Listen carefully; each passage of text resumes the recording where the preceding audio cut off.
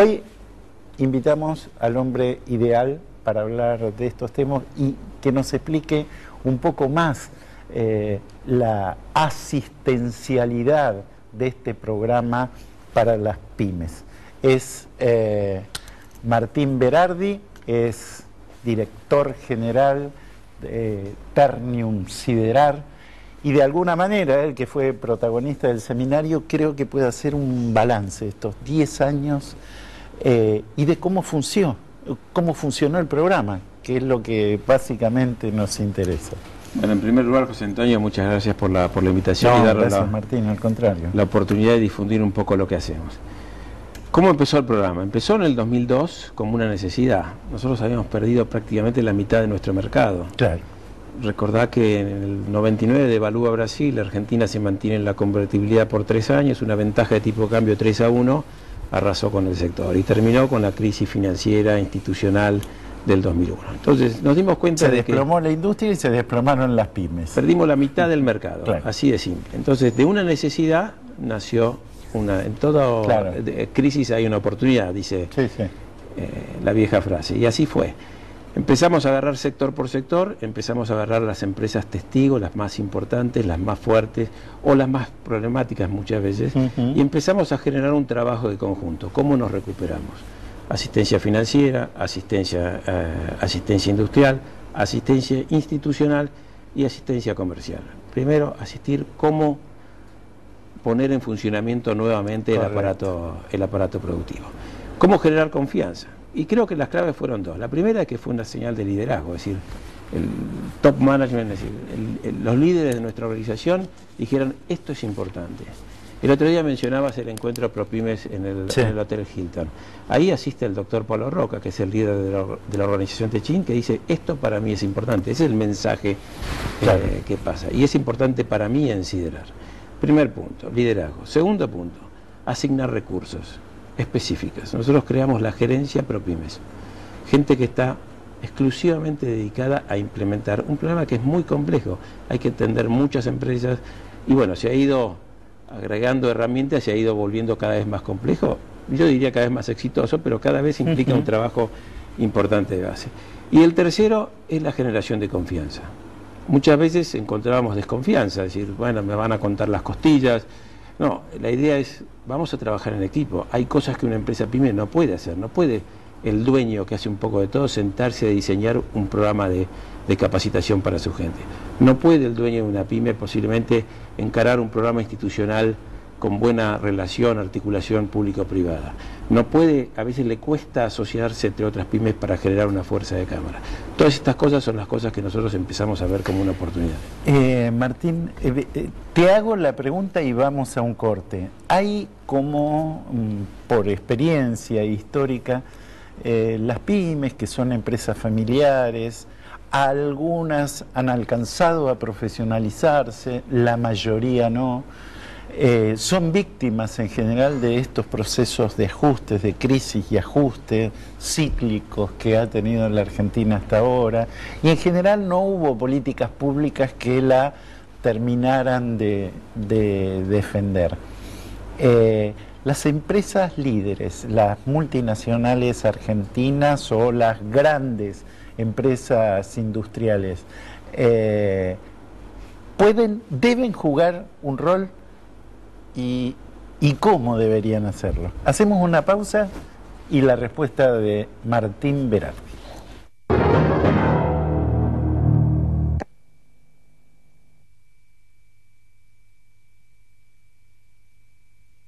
La educación es el eje principal de las acciones de responsabilidad social corporativa de Santander Río.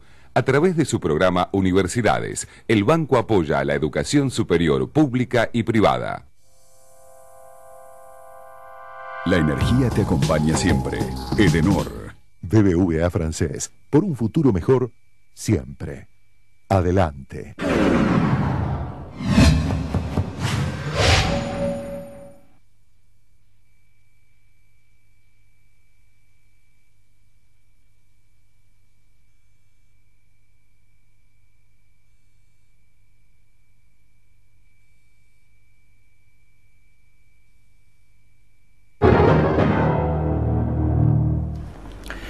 Eh, justamente Paolo Roca eh, decía en este seminario, daba un ejemplo.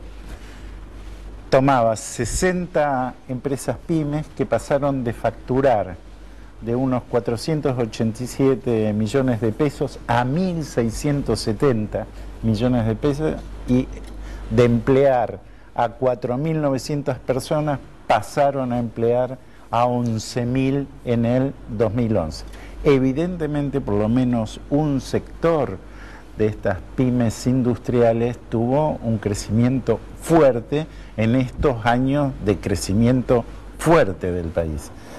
Eh, yo antes hacía justamente esta pregunta, ¿cómo las grandes empresas, las empresas líderes, en el caso de Techin, una multinacional, pueden hacer más por su cadena de valor, ¿no? Porque en definitiva eh, ganan todos, ¿no? En principio, ganan todos. Eh, y, el propio Roca daba un ejemplo con la adquisición de la siderúrgica brasileña Usiminas, eh, con la participación en la futura gestión de Usiminas, que de alguna manera también ofrecía otra oportunidad, otro escenario para esta cadena de valor, ¿no? Sí, así. Bueno, a ver cómo, cómo fue el caso de ustedes. Tu primera pregunta, ¿es una necesidad, es una obligación? Yo creo que es ambas cosas. Yo creo que articular la cadena de valor hacia la competitividad del conjunto.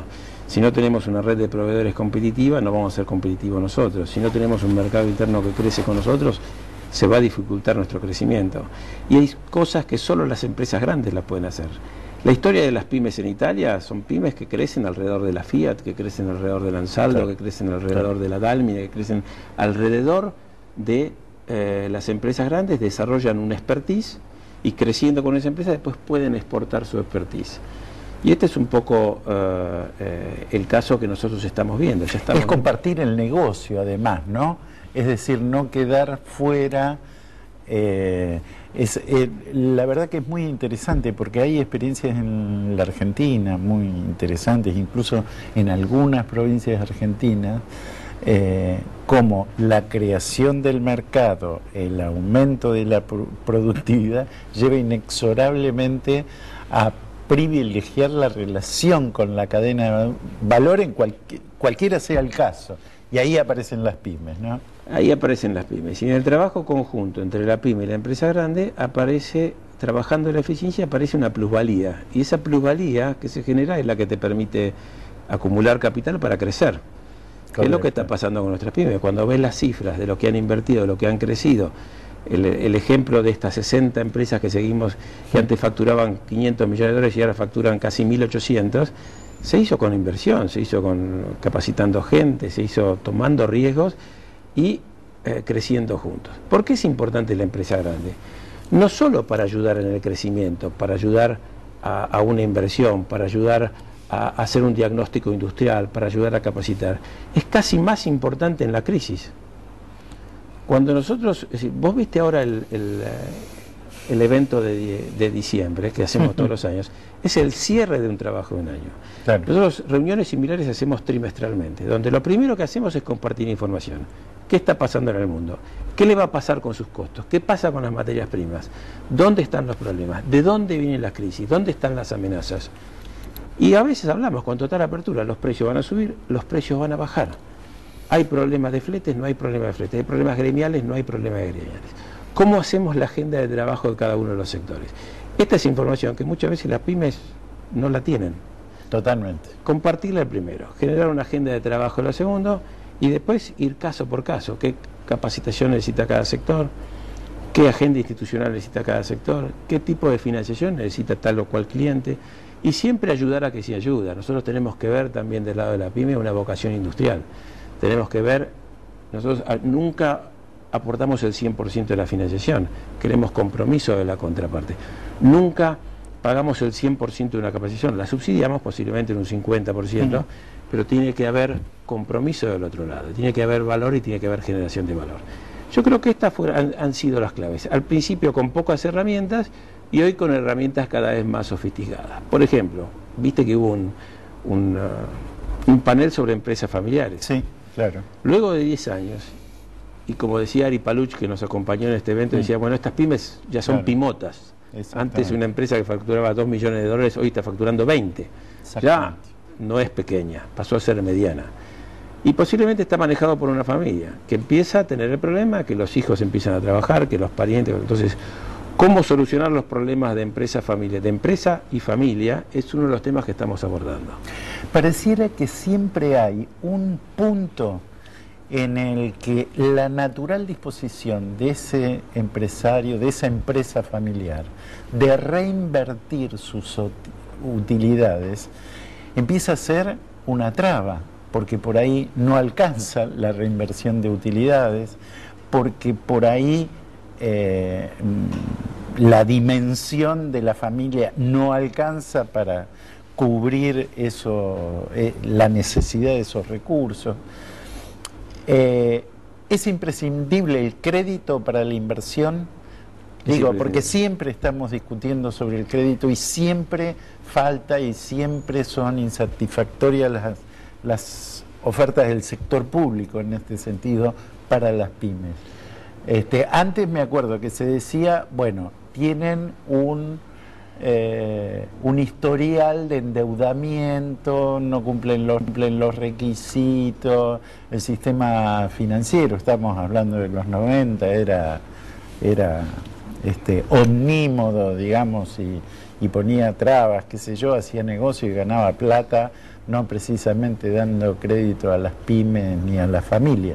Bueno, ahora cómo es, mejoró eso, ¿Qué perspectiva hay? Porque también el sistema necesita un crédito más o menos constante, estable. Exactamente. El financiamiento para las pymes es clave, porque muchas veces la acumulación de capital es mucho más lenta del crecimiento que necesita la empresa para, mantener su posición en el mercado, para poder crecer, para poder exportar. Entonces en eso nosotros también brindamos eh, un apoyo. A lo largo de la historia se ha culpado a las pymes de situaciones de las cuales eran absolutamente inocentes. Las crisis terminan por arrasar las pymes. La pyme no tiene la fuerza, si no tiene la articulación con una empresa grande, la pyme es literalmente arrasada, no tiene la fuerza. Claro, es víctima. Es víctima. Entonces, a veces se ha tomado eh, decisiones de decir, bueno, no se puede financiar a las pymes porque terminan no pagando. No, momento. Se ha creado una condición muchas veces en los eh, ups and downs de la economía eh, argentina se han generado crisis que una pyme no podía atravesar, no que no sean sujetas de crédito, son perfectamente sujetas de crédito. Y hay muchos líderes eh, de empresas pymes que yo los catalogo de próceres, son tipos que han apostado todo lo que tenían por lo que tienen. Entonces, eh, apoyar esa cultura industrial es clave, y ahí está la fuerza de la generación de la pyme, es de un fundador. La pyme nace con la idea de un fundador que apuesta todo por un proyecto. Entonces, eh, apoyarlos me parece una necesidad. Y aparte, las pymes son las que más empleo generan, muchísimo más de lo que generan las empresas grandes, contrariamente a lo que uno inicialmente tiende a pensar. Sí, no, parece fundamental. Eh, eh, el proceso, creo, 2008-2009 fue bastante ilustrativo. Aún con los problemas macroeconómicos que tuvo la Argentina, el hecho de que no hubiera una generada suspensión o desempleo en las pymes creo que aseguró este, la preservación del empleo en ese momento. ¿no? Bueno, ese fue uno de los temas abordados en el 2009. A nosotros las ventas internas en los primeros seis meses del 2009 nos cayeron 60%. Vendíamos 200, pasamos a vender 80. O sea, y eso porque nuestros clientes no consumían, porque se había paralizado. Obviamente, una de las asistencias fue cómo manejar los recursos humanos en esa situación. Cómo retener el talento, cómo sin morir en el intento, ¿no es cierto? Sí, claro. Es decir, fue uno de los temas a, cómo manejar los inventarios, cómo manejar la agenda institucional.